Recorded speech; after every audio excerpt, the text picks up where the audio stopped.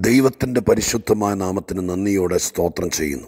കർത്താവിനാൽ അനുഗ്രഹിക്കപ്പെട്ട ദൈവമക്കളെ വിവിധ സ്ഥലങ്ങളിൽ ഇരുന്നു കൊണ്ട് ദൈവത്തെ സേവിക്കുകയും പ്രാർത്ഥിക്കുകയും ക്രിസ്തീയ ജീവിതം നയിപ്പാൻ വെമ്പൽ കൊള്ളുകയും ചെയ്യുന്ന എനിക്ക് വാത്സല്യമുള്ള എല്ലാ സഹോദരി സഹോദരന്മാരെ കർത്തൃദാസന്മാരെ ഒരിക്കൽ കൂടി കർത്താവിന്റെ നാമത്തിൽ സ്നേഹവന്ദനങ്ങൾ അറിയിക്കുന്നു. ദൈവാദി ദൈവത്തിന് സകല മഹത്വവും പുകഴ്ചയും അർപ്പിച്ചുകൊണ്ട് ഇന്ന് ഈ അനുഗ്രഹീത കർത്തൃദിവസത്തിൽ ദൈവസന്നിധിയിൽ ഒരുമിച്ച് ദൈവവചന ധ്യാനത്തിനു വേണ്ടി നമ്മൾ ഒരുങ്ങുകയാണ്.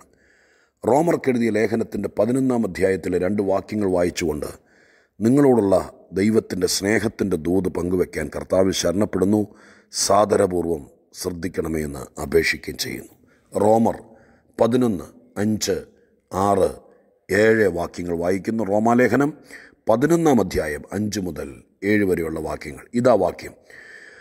അങ്ങനെ ഈ കാലത്തിലും കൃപയാലുള്ള തെരഞ്ഞെടുപ്പിൻ പ്രകാരം ഒരു ശേഷിപ്പുണ്ട്. കൃപയാലെങ്കിൽ പ്രവൃത്തിയാലല്ല അല്ലെങ്കിൽ കൃപ കൃപയല്ല. ആകയാലെന്ത്? ഇസ്രായേൽ താൻ തെരഞ്ഞത് പ്രാപിച്ചില്ല. തെരഞ്ഞെടുക്കപ്പെട്ടവർ അത് പ്രാപിച്ചു. ഒന്നോടെ ഞാൻ അവസാന സെന്റൻസ് പറയട്ടെ. ഇസ്രായേൽ താൻ തെരഞ്ഞത് പ്രാപിച്ചില്ല. തെരഞ്ഞെടുക്കപ്പെട്ടവരോ അത് പ്രാപിച്ചു. റോമാലേഖനം പതിനൊന്നാം അധ്യായം. പൗലോസ് അപ്പോസ്തലിന്റെ ഈടുറ്റ ലേഖനങ്ങളിൽ ഒന്നാണല്ലോ റോമാലേഖനം പതിനൊന്നാം അധ്യായത്തിൽ പൗലോസ് തന്നെ ഒരു ചോദ്യം ചോദിച്ചതിന് മറുപടി പറഞ്ഞുകൊണ്ടാണ് റോമാലേഖനം പതിനൊന്നാം അധ്യായത്തിലെ വിഷയങ്ങൾ ആരംഭിക്കുന്നത്. ചോദ്യം ഇതാണ് എന്നാൽ ദൈവം സ്വന്തം ജനത്തെ തള്ളിക്കളഞ്ഞുവോ? എന്ന് ഞാൻ ചോദിക്കുന്നു. ഒരു ചോദ്യം ഉന്നയിച്ചുകൊണ്ട് വിശദീകരണം ആരംഭിക്കുകയാണ്. ഇത് പൗലോസ് എന്ന എഴുത്തുകാരന്റെ പൗലോസ് എന്ന വാഗ്മിയുടെ സമർത്ഥമായൊരു രീതിയാണ് ചോദ്യങ്ങൾ ഉന്നയിച്ചുകൊണ്ട് കാര്യങ്ങൾ തെളിയിക്കുക. അനേക കാര്യങ്ങൾ അനേക ഗഹനമായ കാര്യങ്ങൾ പൗലോസ് ഈ രീതിയിൽ തെളിയിച്ചിട്ടുണ്ട്. അപ്പം ഇവിടെ വലിയൊരു കാര്യം തെളിയിക്കാൻ വേണ്ടി പൗലോസ് ഒരുങ്ങുകയാണ്. അപ്പോൾ ചോദ്യം ഉന്നയിക്കുക. ചോദ്യം ഇതാണ്. വീണ്ടും ആവർത്തിക്കുന്നു. ദൈവം സ്വന്തം ജനത്തെ തള്ളിക്കളഞ്ഞുവോ എന്ന് ഞാൻ ചോദിക്കുന്നു. ഇവിടെ സ്വന്തം ജനം എന്ന് ഉദ്ദേശിച്ചത് ഇസ്രായേലിനെയാണ് യഹൂദന്മാരെയാണ്. ദൈവം യഹൂദന്മാരെ തള്ളിക്കളഞ്ഞു. കൃപായുഗം പിറന്നു വീണതിന്റെ തൊട്ടു പിന്നാലെ പൗലോസ് എന്ന സമർത്ഥനായ ലേഖകനെ എഴുത്തുകോൽ കൊടുത്ത് ദൈവമായ കർത്താവ് ഇരുത്തിയിരിക്കുകയാണ്. സഭ എന്ന ആത്മീക മർമ്മത്തിന്റെ രഹസ്യങ്ങൾ ലോകത്തോട് അല്ലെങ്കിൽ സഭയ്ക്ക് ബോധ്യമാക്കി കൊടുക്കാൻ വേണ്ടി. ഈടുറ്റ പത്ത് പതിനാല് ലേഖനങ്ങൾ പൗലോസിന്റെ തൂലികയിൽ നിന്ന് രചിക്കപ്പെട്ടു. ലോക ചരിത്രത്തിൽ ഇതുപോലെ രചിക്കപ്പെട്ട ഗ്രന്ഥങ്ങളില്ല. കാരണം പൗലോസ് മറ്റേതെങ്കിലും ഗ്രന്ഥങ്ങളുടെ സഹായത്തോടെയോ മറ്റേതെങ്കിലും ലൈബ്രറികളുടെ സഹായത്തോടെ അല്ല ഈ ലേഖനങ്ങളൊക്കെ എഴുതിയത്. പിന്നെയോ മഹാദൈവത്തിന്റെ തൃപ്പാദത്തിലിരിക്കുമ്പോൾ അദ്ദേഹത്തിന്റെ വാക്ക് തന്നെ ഓർപ്പിച്ചാൽ ഞാൻ കർത്താവിങ്കിൽ നിന്ന് പ്രാപിക്കുകയും നിങ്ങൾ കേൾപ്പിക്കുകയും ചെയ്തു. മുഴുവൻ കാര്യങ്ങൾ കർത്താവിൽ നിന്ന് പ്രാപിച്ചതാണ്. ദൈവത്തിന്റെ സന്നിധാനത്തിൽ സമയം ചെലവഴിച്ചാൽ കർത്താവിൽ നിന്ന് ആർക്കും പ്രാപിക്കാമെന്ന് അദ്ദേഹം പിന്നത്തത്തിൽ എഴുതുകയും ചെയ്തു. ഇത് പൗലോസിന്റെ മാത്രം ഒരു സമർത്ഥമായിരിക്കുന്ന പ്രത്യേകതയല്ല. ആര് ദൈവത്തോട് പറ്റിയിരിക്കുന്നുവോ? ആര് ദൈവത്തിന്റെ കാര്യങ്ങൾക്ക് വേണ്ടി ജീവിതം ഒഴിഞ്ഞു വയ്ക്കുന്നുവോ അവർ കർത്താവിൽ നിന്ന് ഒത്തിരി കാര്യങ്ങൾ പ്രാപിക്കും. എഴുത്തും പാട്ടും മാത്രമല്ല ഒത്തിരി കാര്യങ്ങൾ. അത് ജീവിതം കൊണ്ട് തെളിയിച്ചയാളാണ് പൗലോസ്. അപ്പോൾ അദ്ദേഹം ആത്മീക രഹസ്യങ്ങൾ കർത്താവിൽ നിന്ന് പ്രാപിക്കുകയാണ്. ഭയങ്കരമായിരിക്കുന്ന ദൈവസഭയെക്കുറിച്ചുള്ള ദൈവത്തിന്റെ ഹൃദയത്തിൽ കിടക്കുന്ന മറഞ്ഞു കിടക്കുന്ന വലിയ കാര്യങ്ങൾ ഇദ്ദേഹം ദൈവത്തിൽ നിന്ന് പ്രാപിക്കുകയാണ്. അപ്പോൾ സംശയ നിവാരണങ്ങൾ ഭാഗ്യവശാൽ ദൈവത്തിന്റെ പൂർവകാല നിശ്ചയപ്രകാരം ദൈവമായ കർത്താവ് ഒരുക്കിയതാണ് സഭ എന്ന ആത്മീക മർമ്മം. യഹൂദന്മാരെ ഡിപ്പെൻഡ് ചെയ്തുകൊണ്ട് അല്ലെങ്കിൽ അവരെ മുൻനിർത്തിക്കൊണ്ടാണ് ദൈവം ചരിത്രം ചമച്ചു വരുന്നത്. ലോകത്തിന്റെ ഘടികാരമെന്നാണ് യഹൂദനെ ഇപ്പോഴും വിളിക്കുന്നത്. ലോകത്തിൽ എന്ത് സംഭവിക്കണമെന്ന് നിശ്ചയിക്കുന്നത് യഹൂദന്റെ സൂചി കറങ്ങുന്നതനുസരിച്ചിട്ടാണ് അതൊക്കെ ഒരു വലിയ ഈടുറ്റ മാർമിക സംഭവങ്ങളാണ്. അതവിടെ കിടക്കട്ടെ. പതിനൊന്നാം അധ്യായത്തിനകത്ത് ചോദ്യം ഇതാണ്. യഹൂദന്മാരെ ദൈവം തള്ളിക്കളഞ്ഞുവോ എന്ന് ചോദിക്കുന്നു. അവിടെ തന്നെ ചോദ്യകർത്താവ് മറുപടി പറയുന്നു ഒരു നാളുമില്ല ഒരു നാളുമില്ല. ഞാനും ഇസ്രായേലിനല്ലോ. അപ്പോൾ അവിടെ പറഞ്ഞ കാര്യങ്ങളുടെ രഹസ്യം പറയാം. ഈ ജീവിതത്തിലെല്ലാം ചരിത്രത്തിലെല്ലാം ബ്രാക്കറ്റ് പീരീഡ് എന്ന് പറയുന്ന ഒന്നുണ്ട്. അത് എഴുത്തുകാരൊരു ഭാഷയാണ് ബ്രാക്കറ്റ് പീരീഡ്. എന്റെയും നിങ്ങളുടെയൊക്കെ അതാണ് ഞാൻ നിങ്ങളോട് പറയാൻ ആഗ്രഹിക്കുന്നത്. യഹൂദന്റെ ചരിത്രമല്ല റോമാലേഖനത്തിന്റെ പതിനൊന്നാം അധ്യായത്തിന്റെ ഉള്ളടക്കമല്ല. ജീവിതത്തിന് ബ്രാക്കറ്റ് പീരീഡുകളുണ്ട് ചില സന്ദർഭങ്ങളിൽ മറ്റ് ചില ട്രെയിൻ കയറിപ്പോകാൻ വേണ്ടി ഗുഡ്സ് ട്രെയിൻ പിടിച്ചിടുന്ന കണ്ടിട്ടുണ്ടോ? അല്ലെങ്കിൽ നമ്മുടെ ട്രെയിൻ ഗുഡ്സ് ആകണമെന്നില്ല യാത്ര ചെയ്യുമ്പോൾ പലവട്ടം നമുക്ക് തോന്നിയിട്ടുണ്ട് ചിലപ്പോൾ കലി തോന്നിയിട്ടുണ്ട് ചിലപ്പോൾ ദേഷ്യം വന്നിട്ടുണ്ട് ചിലപ്പോൾ പല്ല് കടിച്ചിട്ടുണ്ട്. കാരണം എന്താ? നമ്മൾ വണ്ടി കയറി പിന്നെ എങ്ങും നിർത്തരുത്. നമുക്കിനി പിന്നെ വേറെ ആരെയും കയറ്റരുത്. നേരെ നമ്മുടെ സ്ഥലത്ത് കൊണ്ട് നിർത്തണം. അത് നമ്മുടെ വീടിന്റെ മുമ്പിൽ നിർത്തി തരുവാണെങ്കിൽ ഭയങ്കര സന്തോഷം. അതാണല്ലോ നമ്മുടെ മനസ്സിന്റെ ടെൻഡൻസി അപ്പോൾ സ്വാഭാവികമായിട്ടും ഇതിനൊക്കെ സിസ്റ്റമുണ്ട് ഒരു നിയമമുണ്ട്. ട്രെയിനൊക്കെ എന്ന് പറഞ്ഞാൽ പലതരം ട്രെയിനാണ് ലോക്കലുണ്ട് പിന്നെ എന്താ പറയുക ഷട്ടിലുണ്ട് ഫാസ്റ്റ് ഉണ്ട് സൂപ്പർ ഫാസ്റ്റ് ഉണ്ട് എക്സ്പ്രസ് ഉണ്ട് സൂപ്പർ എക്സ്പ്രസ് ഉണ്ട് ലൈറ്റിനിങ് അങ്ങനെ ഏതൊക്കെയോ പല പല നമുക്കറിയില്ല എല്ലാ വണ്ടിയും പാളത്തിൽ കൂടെ പോകുന്ന പോലെ നമുക്ക് തോന്നുള്ളൂ. പക്ഷേ റെയിൽവേക്ക് അറിയാം ഇതിനെ ലോക്കോ പൈലറ്റിനറിയാം അല്ലെങ്കിൽ സിഗ്നൽ കൊടുക്കുന്നവർക്കറിയാം. സ്പീഡിൽ പോകേണ്ട വണ്ടിയും ദീർഘദൂരം പോകേണ്ട വണ്ടിയും നേരത്തെ കയറി പോകേണ്ട വണ്ടി ഏതൊക്കെയാണെന്ന് അവർക്കറിയാം. അപ്പോൾ അതൊക്കെ ഒരു ഗുഡ്സ് വരിക. വന്ന് ഒരു സ്റ്റേഷനിൽ പിടിച്ചു. പിന്നെ നമ്മുടെ വണ്ടി തന്നെ പിടിക്കാം നല്ല നമ്മുടെ കാര്യത്തേക്ക് വരുള്ളൂ. നമ്മളെല്ലാ ദിവസവും പോയിക്കൊണ്ടിരിക്കുന്ന ലോക്കൽ വണ്ടിക്കകത്തിരിക്കുക അപ്പോൾ നമ്മൾ വന്നപ്പോൾ നമ്മുടെ സ്റ്റേഷനിൽ വന്നപ്പോഴത്തേക്കും ട്രെയിൻ അവിടെ നിർത്തി. ട്രെയിൻ അവിടെ നിർത്തിയിട്ടിരിക്കുക. കുറേ നേരമായിട്ടും പോകുന്നില്ല. അപ്പോൾ നമുക്ക് എന്തോ പോകത്തെ നമ്മൾ എത്രയോ പ്രാവശ്യം അങ്ങനെ കലിച്ചിട്ടുണ്ട്. ഹായ് എന്തോ വണ്ടി ചെയ്ത് എത്ര നേരമായി ഇങ്ങനെ കിടക്കുന്നത് ഇതിനേക്കാൾ നല്ലത് നടന്നു പോകായിരുന്നല്ലോ എന്നൊക്കെ നമ്മൾ വണ്ടിക്കാതിരുന്ന് പറയുന്നവരെ കേട്ടിട്ടുണ്ട്. കുറച്ച് നേരം കഴിയുമ്പോൾ നമ്മുടെ കലി കൂടണമെങ്കിൽ നമുക്ക് നമുക്ക് ആ ദേഷ്യം കൂടണമെങ്കിൽ നമ്മളെ സീറ്റിൽ നിന്നൊക്കെ എഴുന്നേറ്റ് അങ്ങോട്ടും ഇങ്ങോട്ടും നടക്കുന്ന ഒരു രംഗമുണ്ട്. ആ- ദേഷ്യം കാരണം. അത് കൂടണേ എന്താണെന്ന് അറിയാമോ അങ്ങോട്ട് തിരിഞ്ഞു കിടക്കുന്ന വണ്ടിയെ വേറൊരു വണ്ടി അപ്പുറത്തെ പാളത്തെ കൂടെ നിർത്താതെ ഓവർടേക്ക് ചെയ്ത് പോകും അതിനകത്ത് നിറച്ച ആൾക്കാരുണ്ട്. അത് കാണുമ്പോഴേക്കും ചോ ഭയങ്കര ദേഷ്യം വരും. പല്ല് കടിച്ചിട്ട് കഥയില്ല. റെയിൽവേക്ക് ഒരു സിസ്റ്റം ഉണ്ട് അവിടെ ഒരു നിയമമുണ്ട്. നേരത്തെ കയറ്റി വിടേണ്ട വണ്ടികളെ കയറ്റി വിട്ടേ പറ്റൂ. അതിനു വേണ്ടി പിടിച്ചിടും. അങ്ങനെയാണ് പറയുന്നത്. ട്രെയിൻ പിടിച്ചിടും. അപ്പോൾ സംയമനത്തോടെ അതിന് നിയമപരമായിരിക്കുന്ന കാര്യങ്ങളൊക്കെ അറിഞ്ഞ് അങ്ങനെ അങ്ങനെ അവിടെ ആ വണ്ടിക്കകത്തിരിക്കുന്ന എല്ലാവരും സംയമനപ്പെട്ടേ പറ്റൂ. ഇതുപോലെ ദൈവീക ചരിത്രത്തിന്റെ ബ്രാക്കറ്റ് പീരീഡുകളുണ്ട്. യഹൂദനോടുള്ള ബന്ധത്തിൽ ഇപ്പോൾ പിടിച്ചിട്ടിരിക്കുക. പൗലോസി റോമാലേഖനം പതിനൊന്നാം അധ്യായം പറയുമ്പോൾ സ്റ്റേഷനിൽ പിടിച്ചിട്ടിരിക്കുക. വണ്ടി നിശ്ചലമാണ്. ഒരു കാര്യവും നടക്കുന്നില്ല. ചായക്കാരൻ മാത്രം അതിലെ ചായ ചായ നടക്കുന്നുണ്ട്. വണ്ടി അനങ്ങുന്നില്ല. അങ്ങനെ ഇരിക്കുമ്പോൾ എന്തിനാണ് ഈ ബ്രാക്കറ്റ് പീരീഡ്? ജാതികളെ രക്ഷയിലേക്ക് വരുത്താൻ വേണ്ടി കാൽവരിക്കുന്നൊരു കർത്താവായ യേശു ക്രിസ്തുവിന്റെ പാപപരിഹാര ബലി നടന്നു. അതിനോടനുബന്ധപ്പെട്ട് കൃപായുഗത്തിന്റെ തുടക്കം കുറിക്കുകയാണ്. അപ്പോൾ യഹൂദനെ പിടിച്ചിട്ടിരിക്കുക ഈ പറഞ്ഞതുപോലെ. പെട്ടെന്ന് ആൾക്കാർക്ക് തോന്നി ആ യഹൂദനെ തള്ളിക്കളഞ്ഞു. അവനെ കൈവിട്ടു. ദൈവം പുതിയ ആൾക്കാരെ കണ്ടപ്പോൾ പഴയ ആൾക്കാരെ വിട്ടു. എന്നൊരു തോന്നൽ സാത്താൻ ആളുകളുടെ ഹൃദയത്തിലേക്ക് ഇട്ടുകൊടുത്തു അപ്പോൾ അതിന് മറുപടി പറയാൻ ദൈവം പൗലോസിനെ എഴുന്നേപ്പിച്ചിട്ട് പറയുക നിങ്ങൾ എന്നെ ഈ പറയുന്നേ. ഈ ട്രെയിൻ ഇവിടെ പിടിച്ചിട്ടു എന്ന് പറഞ്ഞുകൊണ്ട് ജീവിതകാലം മുഴുവൻ ചങ്ങനാശ്ശേരി സ്റ്റേഷനിൽ ഈ വണ്ടി കിടക്കുമെന്ന് നിങ്ങൾ ടിക്കറ്റ് എടുത്ത് കയറിയ ആൾക്കാരല്ലേ? ഇവിടെ കിടക്കുമെന്നാണോ വിചാരം? അങ്ങനെയൊന്നും വിചാരിക്കണ്ട. ഇപ്പോൾ ഒരു വണ്ടിയെ കയറ്റി വിടാൻ വേണ്ടി പിടിച്ചിട്ടെന്നല്ലേ ഉള്ളൂ. ഇത് തൊട്ട് പുറകെ സിഗ്നൽ കിട്ടും. കാര്യം മനസ്സിലായല്ലോ? ഇതാണ് പതിനൊന്നാം അധ്യായത്തിലെ ഉദ്ദേശം. ഇതിനകത്ത് ഇങ്ങനെ വരികയാണ് വരുമ്പോൾ പറയുന്ന കാര്യമാണ്. നമ്മളെ ചൊല്ലിയാണ് പറയുന്നത് കേട്ടോ. നമ്മൾ വായിച്ച വാക്യത്തിലേക്ക് വരണം. അപ്പം നമുക്ക് ഒന്നാമത്തെ ഒരു ദൂതി ഞാൻ നിങ്ങളോട് പറയാം. എന്നിട്ട് ഞാൻ അടുത്ത വായിച്ച വാക്യത്തിലേക്ക് വരാം.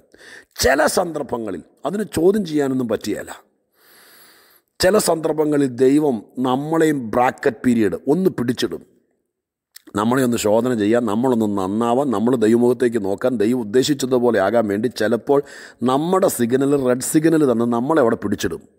എന്നിട്ട് അപ്പുറത്തെ ട്രാക്കിൽ വരുന്ന ആൾക്ക് ഗ്രീൻ സിഗ്നൽ കൊടുത്ത് കയറ്റി വിടും നമുക്ക് കലി തോന്നും ഓ എന്റെ കൂടെ പഠിച്ചവർ എന്റെ ചേട്ടൻ എന്റെ അനിയൻ ഞാൻ ഇത്രയും പ്രാർത്ഥിച്ചു. ദേ അവൻ കള്ളു കുടിച്ചു നടന്നവൻ അവൻ കയറിപ്പോയി അവന്റെ മോക്കടെ കല്യാണം നടന്നു. ഇതൊക്കെ പറഞ്ഞ് വെപ്രാളം കാണിക്കും. പേടിക്കാതിരിക്കുക പേടിക്കാതിരിക്കുക വണ്ടി സ്റ്റാർട്ടായി കിടക്കുക. നിങ്ങളെ കൊണ്ടുപോയി കളഞ്ഞിട്ടില്ല. ദൈവമായ കർത്താവ് എന്തോ ഉദ്ദേശത്തോടു കൂടി എന്തോ സതുദ്ദേശത്തോടു കൂടി ദൈവം നമ്മളെ പിടിച്ചിട്ടിരിക്കുക. ഇതെന്റെ ജീവിതത്തിന്റെ ബ്രാക്കറ്റ് പീരീഡാണ് ഇത് തീരും. ഇതിനപ്പുറത്തേക്ക് ഇനിയും ചരിത്രം തുടങ്ങും. പിടിച്ചിട്ടിരിക്കുക. ഇത് തെളിയണമെങ്കിൽ നമുക്കറിയാം. യായിറോസിന്റെ സംഭവം ലൂക്കോസ് മർക്കോസ് അഞ്ചാം അധ്യായം എന്ന് വായിച്ചു നോക്കണം. യായിറോസ് മെനക്കെട്ട് വണ്ടിക്കൂലി മുടക്കി ദൂരയാത്ര ചെയ്ത് വന്ന് യേശുവിനെ കണ്ട് തപ്പി പിടിച്ച് കാലെ പിടിച്ച് ചോദിച്ച് പറഞ്ഞ് കുഞ്ഞു ദീനമായി കിടക്കുന്നെന്നും പറഞ്ഞ് ഒരു കണക്കിന് നമ്മുടെ ചിന്തയെ പറയാം കർത്താവിനെ വണ്ടി കയറ്റി കൊണ്ടുപോവുക. ഇച്ചിരി അങ്ങോട്ട് ചെന്നപ്പോൾ ചെറിയൊരു ട്രാഫിക് ബ്ലോക്ക്. അവിടെ വെച്ചതേ എങ്ങാണ്ടെന്നും വന്ന രക്തസ്രാവക്കാരി സ്ത്രീ ചാടി യേശുവിനെ വസ്ത്രത്തിന് തൊങ്ങലെ കയറി പിടി കർത്താവ് ചാടി അവിടെ ഇറങ്ങി. കർത്താവ് ഇറങ്ങിയപ്പോൾ യായിറോസ് ബ്രാക്കറ്റ് പീരീഡിലായി. യായിറോസ് തല ചൊറിയ യായിറോസ് പല്ല് കടിക്കുക എന്റെ കൊച്ച് ദീർഘശ്വാസം വലിക്കുക കൂർത്തശ്വാസം വലിക്കുക എന്റെ ദൈവമേ ചാവുന്നേക്കാവുമ്പോൾ ചെല്ലണം. എന്തോ കർത്താവായത്. ഈ പെണ്ണുമ്പിള്ളക്ക് ഇപ്പോഴാണോ വരാൻ കണ്ട എന്റെ ഭാഷ തെറ്റിദ്ധരിക്കരുതേ. എന്നൊക്കെ പറഞ്ഞ് ഉള്ളത്തിന്റെ ഉള്ളിൽ അയാൾ കലിച്ചു നിൽക്കുക. അയാൾ ബ്രാക്കറ്റ് പീരീഡിലാണ് കുറേ നേരം കഴിഞ്ഞപ്പോൾ രക്തസ്രാവക്കാരി സ്ത്രീയെ ഒരുമാതിരിയൊക്കെ പരുവത്തിലാക്കി അവളെ പറഞ്ഞയച്ചു. അവളെ പറഞ്ഞയച്ചു കഴിഞ്ഞപ്പോഴത്തേക്കും യായറൂസിന്റെ കൂടെ വീണ്ടും വണ്ടി കയറി. വണ്ടി നീങ്ങാൻ നേരത്ത് ദേ വരുന്നു യായറൂസിന്റെ വീട്ടിൽ നിന്ന് ഒരുത്തൻ. ഗുരുവിനെ ഇനി അസഹ്യപ്പെടുത്തണ്ട. തിരിച്ചു വിട്ടാരെ. ബാല മരിച്ചുപോയി. ബ്രാക്കറ്റ് പീരീഡിൽ കിടന്നവൻ ആരെയൊക്കെ പ്രാഗി കാണുമെന്ന് ആർക്കറിയാം? ഞാൻ എന്റെ ഇമാജിനേഷൻ പറയാം ബൈബിളിൽ അങ്ങനെയൊന്നുമില്ല. ഞാൻ നിങ്ങളോടുള്ള ദൂത് പറയുക. യേശു പറഞ്ഞു എടാ വണ്ടിക്കകത്ത് ഞാനുണ്ട്. ഞാൻ നിന്റെ വീട്ടിലേക്ക് വരാൻ വേണ്ടി തന്നെയാണ് വന്നത്. നിനക്ക് തോന്നി കാണും വൈകിപ്പോയെന്ന്. നിന്റെ ബ്രാക്കറ്റ് പീരീഡുകളിൽ നിനക്ക് തോന്നും നിന്നെ കൈവിട്ടു നിന്നെ ഉപേക്ഷിച്ചു നിന്നെ മറന്നു. നിനക്കിനി സാധ്യതയില്ല. നിന്റെ ചാൻസ് പോയി. നീ തോറ്റു. നിന്റെ കൊച്ചി കത്തുപോയി നിന്റെ കുഞ്ഞിന്റെ കാര്യം കർത്താവ് മറന്നു. നിന്നെ മറന്നു. വേറെ ആരാണെങ്കിലും കിട്ടിയപ്പോൾ കർത്താവ് അതിന്റെ പുറകെ പോയി. എന്നോട് കരുണ കാണിച്ചില്ല ദയ കാണിച്ചില്ല. ഇതൊക്കെ തോന്നും. സഹോദരങ്ങളെ സഹോദരിമാരെ ജീവിതത്തിന്റെ ബ്രാക്കറ്റ് പീരീഡിൽ കിടക്കുന്നവരെ പേടിക്കാതിരിക്കുക പേടിക്കാതിരിക്കുക ബ്രാക്കറ്റ് പീരീഡുകൾ എത്രയും പെട്ടെന്ന് തീരും. ഇസ്രായേൽ ജനതയ്ക്കൊരു കാലഘട്ടം മുഴുവൻ ബ്രാക്കറ്റ് പീരീഡായിരുന്നു. അവരെ വിചാരിച്ചു അവരെ കൈവിട്ടു. കണ്ടു നിന്നവർ വിചാരിച്ചു യഹൂദൻ പ്രമാണമൊക്കെ കിട്ടിയവരെ വിട്ടു. പൗലോസ് ആ കാര്യത്തിന് മറുപടി പറയുന്നു ദൈവത്തിനത് ചെയ്യാൻ പറ്റുമോ ഒരു നാളുമില്ല ഒരു നാളുമില്ല. ഇനി വായിച്ചതിനകത്തുനിന്ന് ഒരു വാക്ക് പറഞ്ഞ് ഞാൻ പ്രാർത്ഥിക്കാം. വായിച്ചത് ഇങ്ങനെയാണ്. ഇസ്രായേൽ തെരഞ്ഞു നടന്നു ഒരു കാലഘട്ടം മുഴുവൻ. ഈ ബ്രാക്കറ്റ് പീരീഡിൽ കടക്കുമ്പോൾ ഞാൻ ആദ്യം പറഞ്ഞതുപോലെ അങ്ങ് പ്രഷർ കയറുമ്പോൾ തിരഞ്ഞു കിടക്കുക എങ്ങനെ രക്ഷപ്പെടും? എവിടെ പോയാൽ രക്ഷപ്പെടും? ആരെ കൊണ്ട് പ്രാർത്ഥിപ്പിക്കും? ആര് നോക്കും? ദൈവത്തെക്കൊണ്ട് മാത്രമേ കഴിയത്തുള്ളൂ. തൊട്ടടുത്ത വാക്യം. തെരഞ്ഞു നടന്നവർ പ്രാപിച്ചില്ല. തെരഞ്ഞെടുക്കപ്പെട്ടവരത് പ്രാപിച്ചു. അപ്പോൾ തെരഞ്ഞെടുക്കപ്പെട്ടവരെന്ന് പറയുന്ന ഗണത്തിനാണ് ദൈവത്തിന്റെ സഭയും ദൈവത്തിന്റെ മക്കളും വരുന്നത്. അവരത് പ്രാപിച്ചു. ജീവിതത്തിൽ പലപ്പോഴും ഇങ്ങനെ സംഭവിക്കും. തെരഞ്ഞു നടക്കുന്ന ഒത്തിരി പേരുണ്ട്. അവരത് പ്രാപിക്കും അതൊക്കെ അതിന്റെയൊക്കെ കാരണം നമുക്ക് കണ്ടെത്താൻ പറ്റില്ല. പക്ഷെ തെരഞ്ഞു നടന്നവരല്ല തെരഞ്ഞെടുക്കപ്പെട്ടവർ പ്രാപിച്ചു. നിങ്ങൾ ഈ ഗണത്തിൽ ഏതിൽ പെടുമെന്നൊന്ന് ചിന്തിച്ച് നമുക്ക് ഈ കർത്തൃദിന ചിന്ത അവസാനിപ്പിക്കാം. ജീവിതകാലം മുഴുവൻ എവിടെ പോയാൽ രക്ഷപ്പെടും? ആരോട് പ്രാർത്ഥിച്ചാൽ രക്ഷപ്പെടും? അവിടെ കൊണ്ടുപോയി വഴിപാട് കഴിക്കണം? ഇവിടെ കൊണ്ടുപോയി നേർച്ച കഴിക്കണം? അവരോട് പ്രാർത്ഥി ഇങ്ങനെ തെരഞ്ഞു നടക്കുന്ന ഒരു കൂട്ടം ആൾക്കാരുണ്ട്. അപ്പോൾ തന്നെ തെരഞ്ഞെടുക്കപ്പെട്ട ഒരു കൂട്ടരുണ്ട്. സഹോദരങ്ങളെ ഭാഗ്യവശാൽ എന്തുകൊണ്ടാണെന്ന് എനിക്കും അറിയില്ല. നമ്മൾ തെരഞ്ഞു നടക്കുന്നവരുടെ കൂട്ടത്തിലല്ല. ഇന്നപ്പുറം പോയി നാളെ ഇപ്പുറം പോയി ഈ വഴിപാട് കഴിച്ചു ആ വഴിപാട് കഴിച്ചു അവരെ കൊണ്ട് പ്രാർത്ഥിപ്പിച്ചു ഇന്ന സ്ഥലം വരെ ചെരിപ്പെടാതെ നടന്നുപോയി അവിടത്തേക്കുള്ള ഇന്ന നേർച്ച കഴിച്ചു അത് ചെയ്തു ഇത് ചെയ്തു ഇതിങ്ങനെ തെരഞ്ഞു നടക്കുന്നവരാ. എന്നാൽ മറുഭാഗത്ത് തെരഞ്ഞെടുക്കപ്പെട്ടവരുണ്ട്. ദൈവം തെരഞ്ഞെടുത്തു. എന്ത് കണ്ടിട്ടാണെന്ന് ഞാൻ വീണ്ടും പറയുന്നു അറിയില്ല. പക്ഷെ തെരഞ്ഞെടുക്കപ്പെട്ടവരുണ്ട്. തെരഞ്ഞെടുക്കപ്പെട്ടവർക്ക് വേണ്ടി ദൈവം തെരഞ്ഞു നടക്കുന്നവരെ ബ്രാക്കറ്റിലിട്ടു. കുറേ കഴിഞ്ഞപ്പോൾ അവരെ നീതിയിലേക്ക് നടത്തി. ഞാൻ ഈ ദൂതിന്റെ രണ്ട് വശങ്ങളാണ് പറയുന്നത് കേട്ടോ. ആദ്യം പറഞ്ഞത് ഒരു പക്ഷേ നിങ്ങൾ ബ്രാക്കറ്റ് പീരീഡിലായിരിക്കാം. ഞാൻ അത് പറഞ്ഞുകൊണ്ട് പ്രാർത്ഥിക്കാം. ജീവിതത്തിൽ കുറേ നാളുകളായി ദൈവത്തോട് പ്രാർത്ഥിക്കുന്നു. നിങ്ങളുടെ കൂടെ നിന്നവർ പലരും ഉയർന്ന കസേരകളിലേക്ക് കയറിപ്പോകുന്നു. അവരുടെ കാര്യങ്ങൾ നടക്കുന്നു. അവരുടെ വീട് പണി നടക്കുന്നു. നമ്മൾ ഇറങ്ങി തിരിച്ചിട്ടും നടക്കുന്നില്ല. കൊടുത്ത പണം സ്റ്റക്കായി കിടക്കുന്നു. ഡെഡ് മണി പോലെ എവിടെ നിന്നൊക്കെ കിട്ടാനുണ്ട്? ഒരു മൂവ്മെന്റും ഇല്ല. ഒത്തിരി പ്രാർത്ഥിച്ചു ഒത്തിരി കരഞ്ഞു. എന്നോട് തന്നെ പല പ്രാവശ്യം പറഞ്ഞവർ കണ്ടേക്കാം. സഹോദരങ്ങളെ ഇന്ന് രാവിലെ ധ്യാനിക്കുമ്പോൾ സ്വർഗം എന്നോട് പറഞ്ഞു അവരോട് പറ. പൗലോസിന് കിട്ടിയ വെളിപ്പാടിൽ അവരോട് പറ. പേടിക്കണ്ട. തള്ളിക്കളഞ്ഞതല്ല. ചില കാര്യങ്ങൾക്ക് വേണ്ടി ദൈവം ബ്രാക്കറ്റ് പീരീഡിൽ ഇട്ടിരിക്കുക ഞാൻ ട്രെയിനിന്റെ ഉദാഹരണം പറഞ്ഞ് ഓർക്കണേ. തൊട്ടുപുറകെ സിഗ്നൽ വീഴും. മറ്റേ വണ്ടിയെ കയറ്റി വിട്ടത് എന്തിനാണെന്നൊക്കെ ചോദിച്ചാൽ അതിന് മറുപടിയില്ല. അതിന് ഞാൻ ആദ്യം ഓർപ്പിച്ച പോലെ വണ്ടിയിലിരിക്കുന്ന ആൾക്ക് അറിയില്ല. റെയിൽവേക്കൊരു സിസ്റ്റം ഉണ്ട് ആ സിസ്റ്റം വെച്ച വണ്ടി കയറ്റി വിടുന്നത്. അവർക്കാ കമ്മ്യൂണിക്കേഷൻ കിട്ടുന്നത്. അവരാണ് അതനുസരിക്കുന്നത്. നമുക്കതിനെ ചോദ്യം ചെയ്യാൻ പറ്റില്ല. നമുക്ക് തോന്നും ഞങ്ങളും കാശ് കൊടുത്ത് കയറിയതല്ലേ ഇതും വണ്ടിയല്ലേ അത് എല്ലാ വണ്ടിയും കണ്ടാൽ ഒരുപോലെ ഇരിക്കും. പക്ഷെ ഞാൻ ആദ്യം പറഞ്ഞതുപോലെ കാറ്റഗറിക്ക് വ്യത്യാസമുണ്ട്. ദൈവസന്നിധിയിൽ നിന്ന് നമുക്ക് സമർപ്പിക്കാം സംയമനപ്പെടാം അമർന്നിരിക്കാം. എന്റെ വണ്ടി മൂവ് ചെയ്യും. ഈ ദിവസങ്ങളിൽ സിഗ്നൽ വീഴും. അല്പനേരത്തേക്ക് പിടിച്ചിട്ടു. പ്രാർത്ഥന പോലും ഫലിച്ചില്ലെന്ന് തോന്നി. ഒരു വിഷയത്തിൽ പോയി നമ്മുടെ കുഞ്ഞ് പിടിച്ചിട്ടു. കൊച്ചിനോട് പറ മക്കളെ ഇതെന്നേക്കുമുള്ള പരാജയമല്ല. മോളെ ഇത് എന്തിനോ വേണ്ടി ഒരു ബ്രാക്കറ്റ് പീരീഡിൽ നിന്നെ കയറ്റിയെന്നുള്ളൂ നിന്റെ ബ്രാക്കറ്റ് പൊളിച്ച് വീണ്ടും നിന്നെ ചലിച്ച് മുന്നോട്ട് നയിപ്പാൻ ദൈവം വിശ്വസ്തനാണെന്ന് കുഞ്ഞുങ്ങൾക്ക് പറഞ്ഞു കൊടുക്കുക തെരഞ്ഞു നടക്കാതെ തെരഞ്ഞെടുക്കപ്പെട്ടവരുടെ ചാരെ ചേർന്ന് നിൽക്ക്. നിങ്ങൾക്കായി കരുതിയിരിക്കുന്ന നന്മകൾ നിങ്ങൾ പ്രാപിച്ചെടുക്കുക ദൈവം വിശ്വസ്തൻ ദൈവം വിശ്വസ്തൻ. ഞാൻ നിങ്ങൾക്ക് വേണ്ടി അനുഗ്രഹിച്ച് പറയുന്നു. ബ്രാക്കറ്റ് പീരീഡ് തീരാറായി. മൂമെന്റുകൾ ആരംഭിക്കാറായി. കുറച്ച് നാളുകളായി ബ്രാക്കറ്റ് പീരീഡിൽ കടന്നവർ പ്രത്യേകം ശ്രദ്ധിച്ചു. നിന്റെ ബ്രാക്കറ്റ് പൊളിയുന്നു മുന്നോട്ട് പോകുന്നു. ചലനാത്മകമായിരിക്കുന്ന പ്രാർത്ഥനയുടെ മറുപടികൾ നിങ്ങൾക്കും നിങ്ങളുടെ കുടുംബത്തിലും എത്തട്ടെ എന്ന് ആശംസിച്ച് പ്രാർത്ഥിച്ചുകൊണ്ട് പ്രധാന പ്രാർത്ഥനയിലേക്ക് പ്രവേശിക്കുക. പരിശുദ്ധ ദൈവമേ ഞങ്ങളുടെ സ്വർഗീയ പിതാവേ ഒത്തിരി ആളുകൾ ഈ ദൂതിന്റെ വെളിച്ചത്തിൽ ഇന്ന് രാവിലെ സ്വർഗം എന്നോട് പറഞ്ഞ വാക്കിന്റെ അടിസ്ഥാനത്തിൽ ഞങ്ങൾ ഈ വചനം കേൾക്കുന്നൊരു വലിയ ടീമാണ്. ഞങ്ങൾ ഉറച്ച് വിശ്വസിക്കുന്നു. പത്ത് പതിനായിരത്തോളം ആളുകളാണ്.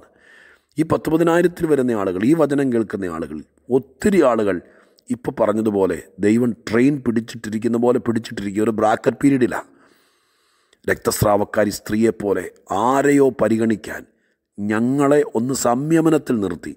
അത് ഞങ്ങളെ വിശ്വസ്തരെന്ന് കണ്ടിട്ടാണ് അങ്ങ് എന്തോ കോൺഫിഡന്റായി കണ്ടിട്ടാണ് അവരുടെ കേസിൽ ഇടപെട്ടെന്നറിയാം ഞങ്ങൾക്കതിൽ പരിഭവമില്ല. ഈ വെളിപ്പാടിനായി സ്തോത്രം. ഞങ്ങളുടെ കൂടെ അങ്ങ് ഉണ്ടല്ലോ. ഞങ്ങളുടെ വീട്ടിലങ്ങ് വരുമല്ലോ ഞങ്ങളുടെ വിഷയത്തിൽ അങ്ങ് തൊടുമല്ലോ ഞങ്ങളുടെ കാര്യത്തെ എഴുന്നേൽപ്പിക്കുമല്ലോ ബ്രാക്കറ്റ് പീരീഡുകൾ തീരും. സജീവ യാത്രകൾ വീണ്ടും തുടരും. ദൈവപ്രവർത്തി വെളിപ്പെടും. ഈ കൊറോണ കാലത്ത് ഒരുപാട് പേര് ബ്രാക്കറ്റിലാണ് ബ്രാക്കറ്റ് പീരീഡിലാണ് ഇത് കഴിയും. ഈ കാലവും നീങ്ങിപ്പോകും. ഈ മഴയും മാറും. ഈ കൊടുങ്കാറ്റും മാറും. ലോകവും ഞങ്ങളും കർത്താവ് വരാൻ താമസിച്ചാൽ വീണ്ടും സജീവമാകും. ഈ പ്രാർത്ഥിക്കുന്നവരെ അനുഗ്രഹിച്ചേക്കണേ. യേശുവിൻ നാമത്തിൽ പ്രാർത്ഥിക്കുന്നു. കേൾക്കണമേ സ്വർഗീയ പിതാവേ. ആമേൻ.